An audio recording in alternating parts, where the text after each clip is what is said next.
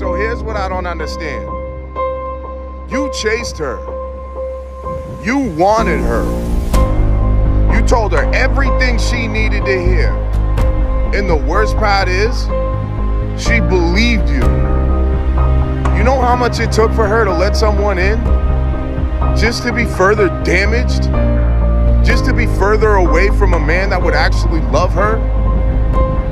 Just to be further away from even thinking love exists? You don't understand what type of karma comes with breaking someone who is already broken.